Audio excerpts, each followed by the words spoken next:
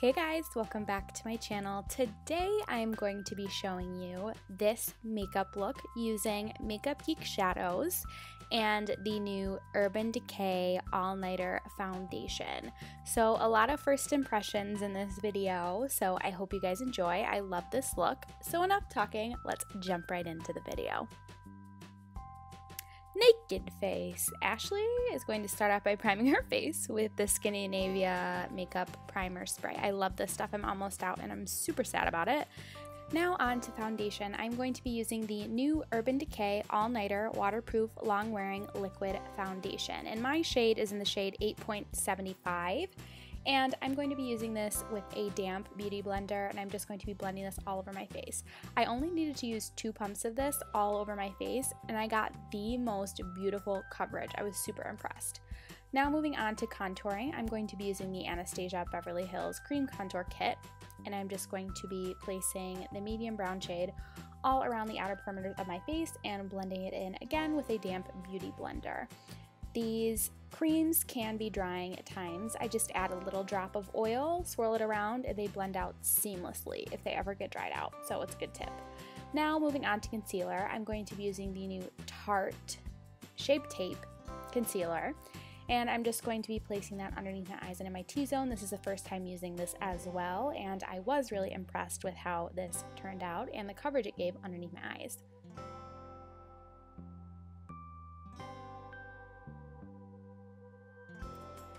Now I'm going to be setting my concealer in place. I'm just going to be baking everything with the Laura Mercier translucent setting powder and my damp beauty blender. Again, you just dip it in that stuff and you just place it underneath your eyes. I know it's scary. You can't just dip it in a little bit. You got to get a lot and then it just works fine. And now I'm going to be using the Sasha Buttercup yellow setting powder and I'm just going to be setting that on the outer perimeters of my face anywhere that I did not bake.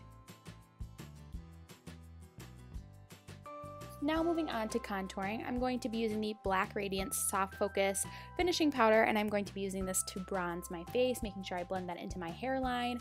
I'm going to be blending that into the hollows of my cheeks and on my jawline just to make sure everything looks nice and bronzed and my face doesn't look like a potato.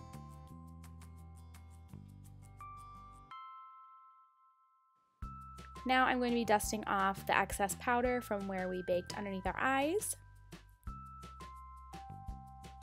And I'm just going to be contouring my nose. And I know a lot of you guys are like, well, when you contour your nose, it doesn't really look like it's contoured. I just like my nose to look a little more defined. I don't want it to look necessarily smaller, and I do like how it looks when I add a little bit more color to my nose, so just my personal preference.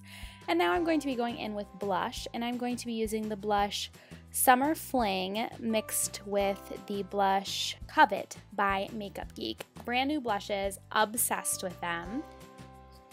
Now moving on to the eyes, I have primed the eyes using the Too Faced Shadow Insurance and I'm setting that in place using Creme Brulee from Makeup Geek.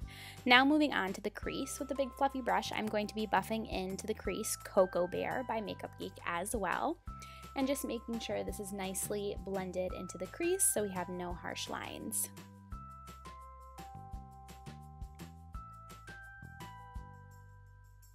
Next, I am going in with Mocha, and I'm just going to be focusing that strictly in the crease, right in the fold, just to give my eye some more definition and really darken that crease. And then I'm just going to buff everything out again with that MAC fluffy brush to make sure there are no harsh lines. Now going in with the star of the show, I'm going to be using the shade Glamorous, also by Makeup Geek. I'm going to be placing that right on my eyelid. I'm going to really be focusing this on my eyelid and carving out the crease. So I'm going to make sure that my eyelid is nice and defined and just following the natural shape of my eye.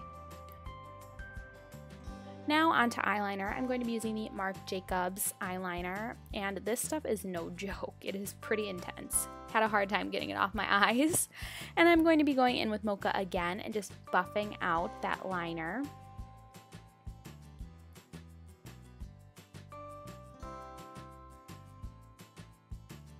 And now for winged liner. I'm going to be using my tried and true Wet n Wild liquid liner, and I'm just going to be giving myself a nice cat eye. Now for lips, I'm going to be going in with MAC's Boldly Bare lip liner.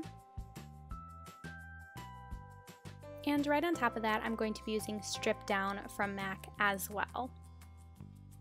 Once that is finished, I'm going to top it off with this beautiful pink shade from Violet Grey. This is the MAC Mineralize Lip Gloss in Lovingly You and I'm just going to place that all over my lips. I love this gloss and how it feels on my lips. It's not crazy sticky, which I like. I'm just going to apply Social Eyes Vixen Lashes and apply a coat of mascara to the top and bottom lashes.